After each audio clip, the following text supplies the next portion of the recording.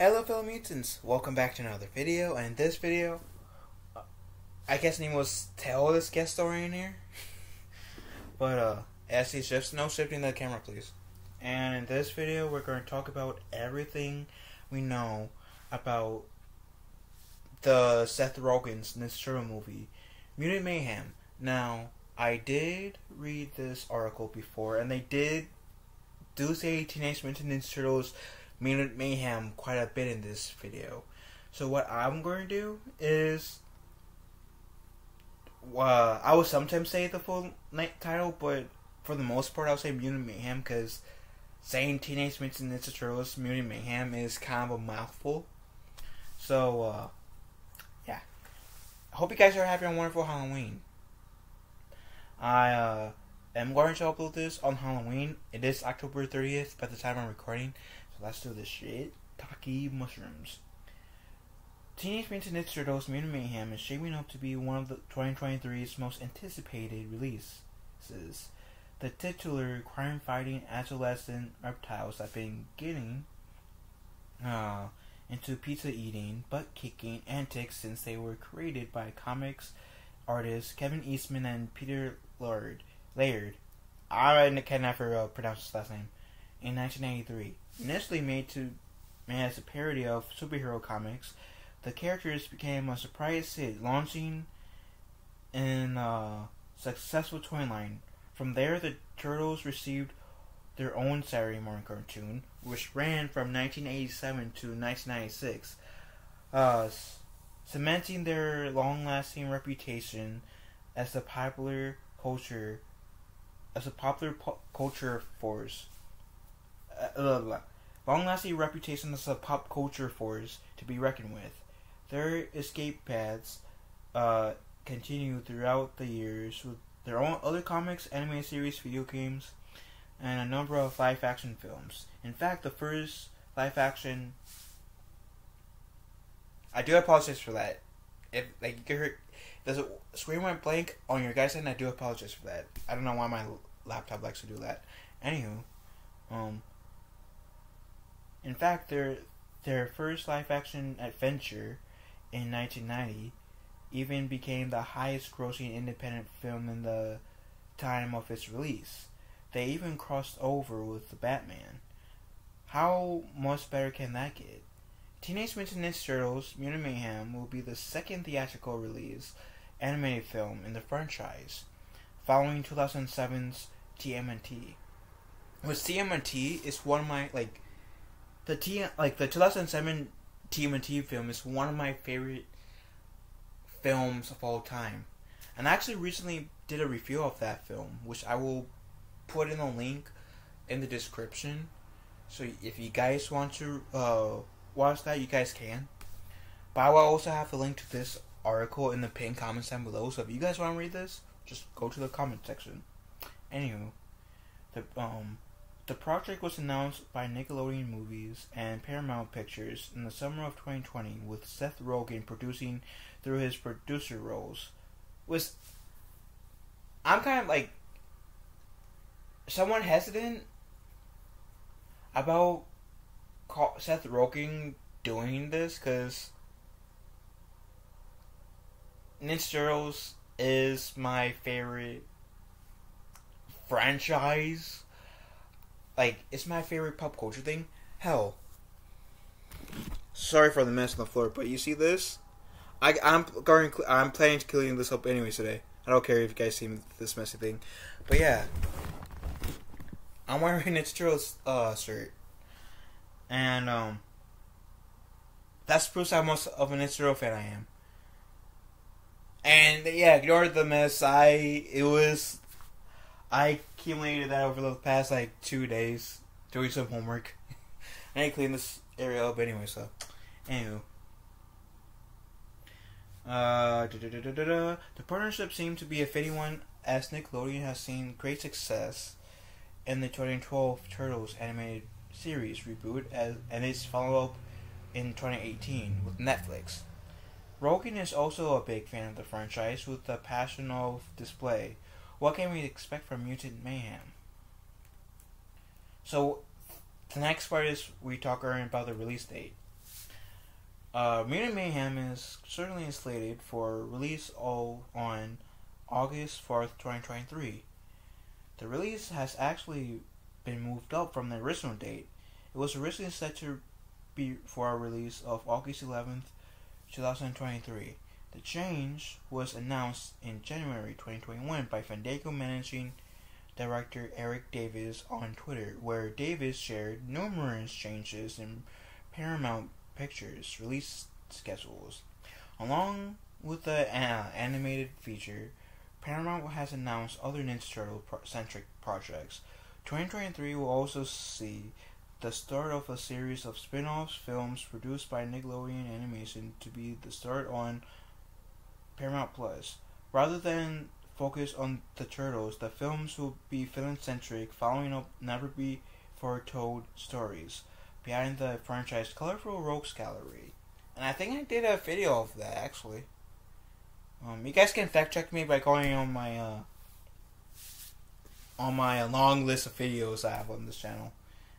It's relatively new, I have to say, from my channel. It's like about a month old.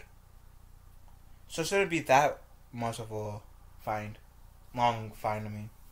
Although we don't exact know exactly which villains will be included in the lineup, at the very least we can expect entries focus say on the Shredder and maybe Krang, the two popular the two most popular turtle adversaries. Additionally, Michael Bay will be producing a new live action film, Reboot. Bay, like, at first I thought that was like reboots and like gonna keep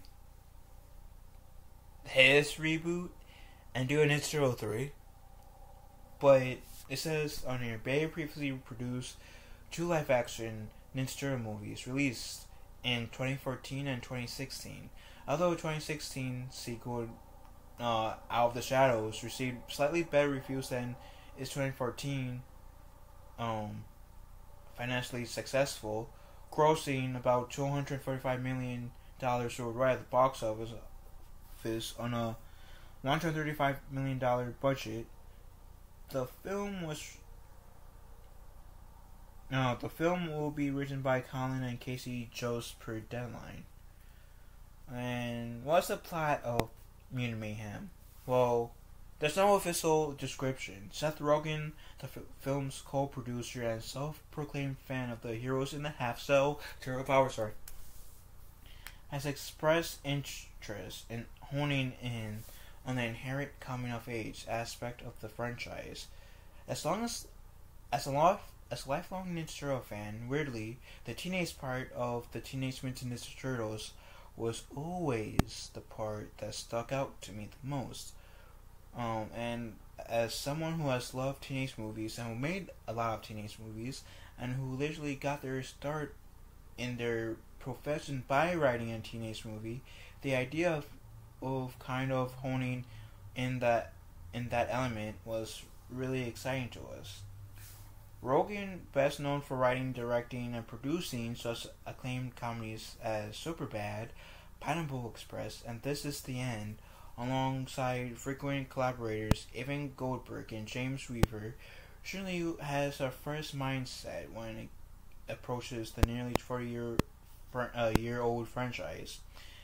In fact, even Ninja Turtles co-creator Kevin Eastman admits to being a fan of Rogen's vision and hopes not to influence the production too heavily.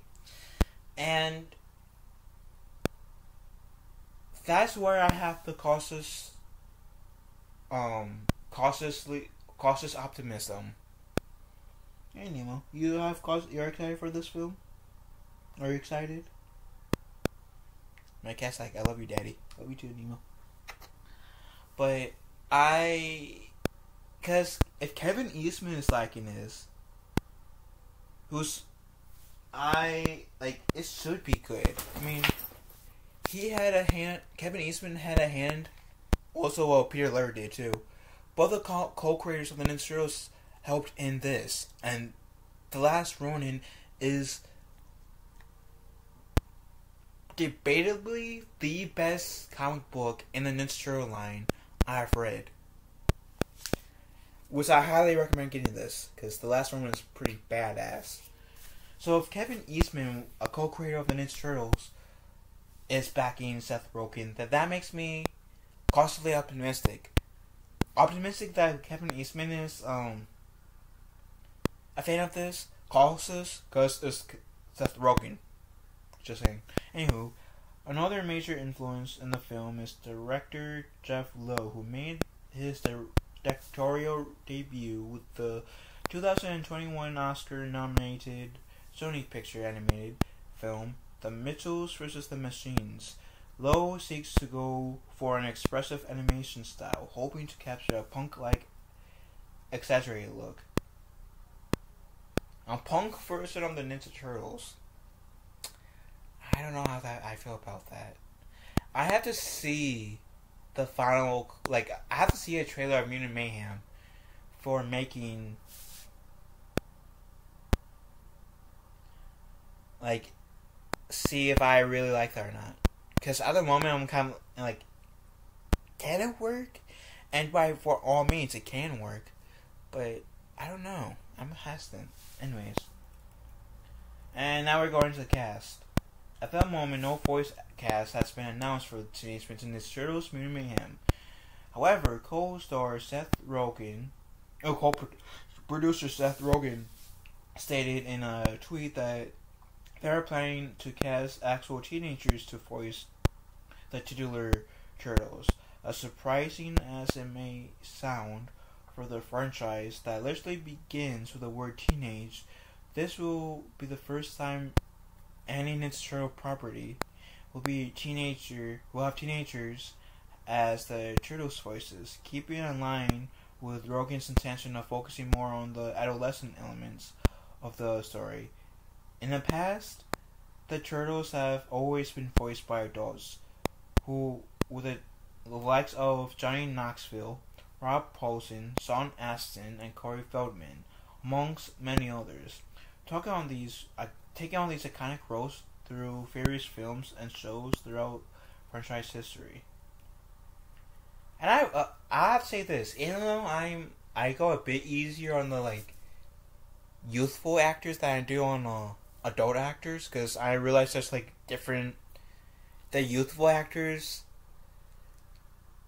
The the acting is a different caliber than adult actors. They're not at like they are. Some youthful actors are really good, but some could could use the, some work to get to be really good. So, I don't. Actually, I thought like as I'm reading th- through this a second time, I at first I was thinking, is that a good idea to have teenage voice actors do this? But now, like, since I've been thinking about this more and more, I don't mind. Like, it shouldn't be an issue. I mean, as long as these teenagers can embody Leonardo, Donatello, Raphael, and Michelangelo, then I just, it's everything should be good. Like, I wouldn't mind. I I'm I'm a lifelong Turtle fan too. I am very particular on this type of thing, so I really want this to be good. I really want Mutant Mayhem to be good, really do. So outside of the four main brothers, Raph, Leo, Mikey, and Donnie, we have we can speculate that the Turtles' wise sensei and father figure Splinter the rat will be featured as well. And oh, there, I feel like with Casey and April, which they do mention in a bit, uh, they can get away with having no Casey Jones or April in the movie, but Splinter is definitely a must. Unless you're going to do it some like how the last Ronin in present day is like, where maybe like the Shredder killed um Splinter. You gotta have an like whenever you whenever you have an intro movie, Splinter is a given. April O'Neil and Casey Jones is like more optional than Splinter, but Splinter is a must. if you're gonna make an Ninja movie. Unless, like I said, if you're to say, hey, we are going to establish early on in the movie, rather if we see it or like get a verbal, it verbally, Splinter is going it is dead, and I wouldn't mind.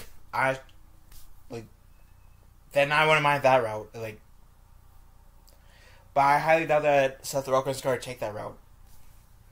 Anyways, their own allies, including spunky news reporter April O'Neil and hockey mask wearing vigilante Casey Jones, are also to return.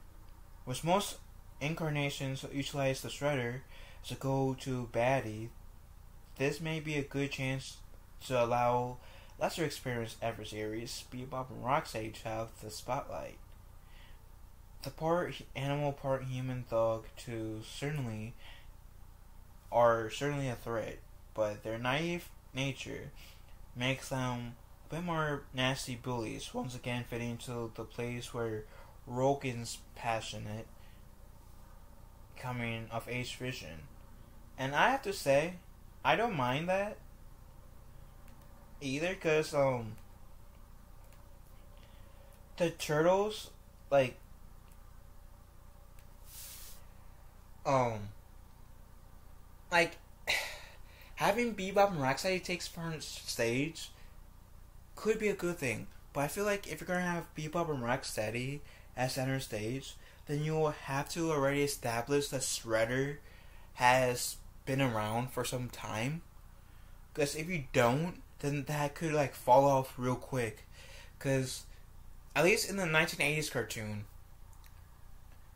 Shredder and Krang brought in two like like two gangsters like a, a gang, and they had two volunteers. Bebop and Rocksteady volunteered, and that's how they got into the rhinoceros and warthog that we come to know with them as.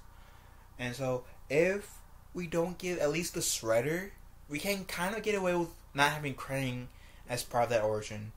But if we don't have Shred- at least Shredder as part of that, then having Bebop and Rocksteady as the main baddies of the film will be um not so good. Sir, you can debatably say if Shredder is like taking backseat and letting Bebop and Rocksteady being the main baddies shown in the film, Shredder's really the true villain of the film because he's pulling everything from the from dark from behind a, and that point would be also valid. But having Leonardo, uh, having Shredder there, it you you need at least Shredder to make Bebop and Rocksteady work, in my opinion. Otherwise, like I said, I cannot see that going ending well.